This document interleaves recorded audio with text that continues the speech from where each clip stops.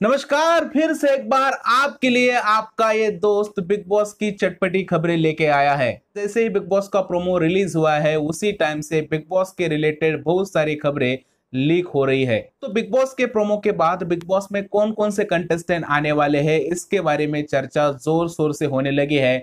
और मैंने आपको ऐसे तीन नाम बताए थे जो बिग बॉस के घर में लगभग कंफर्म आ सकते हैं।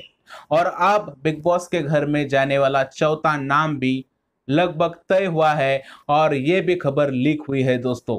दोस्तों, अब ये खबर आई है कि कलर्स टीवी का एक पॉपुलर चेहरा इस बार बिग बॉस चौदह के सीज़न में हमें नज़र आने वाला है और उस कंटेस्टेंट का नाम है विवेन डी सेना।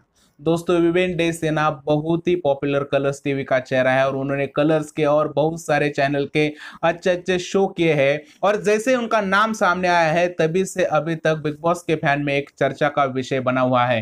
क्योंकि अभी तक जितने भी सेलिब्रिटी के नाम सामने आए हैं, वो सारे के सारे बहुत ही पॉपुलर सेलिब्रिटी है और विवेंद्र सेना भी एक पॉपुलर सेलिब्रिटी और एक टीवी का पॉपुलर चेहरा है।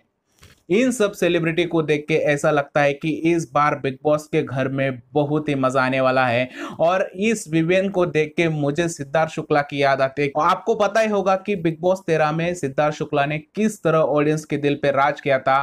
विवियन भी उसी तरह ऑडियंस के दिल पे राज कर सकते हैं। दोस्तों, आपका क्या कहना है इस खबर के बारे में? क्या विवियन भी बिग बॉस के घर में आके धमाल मचा पाएँगे या सिर्फ़ वो एक कंटेस्टेंट ही बन के रह जाएँगे? आपको क्या लगता है? आप ज़रूर बताएँ मुझे नीचे कमेंट में।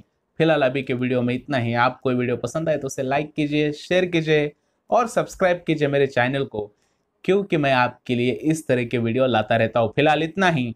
भारत माता की जय।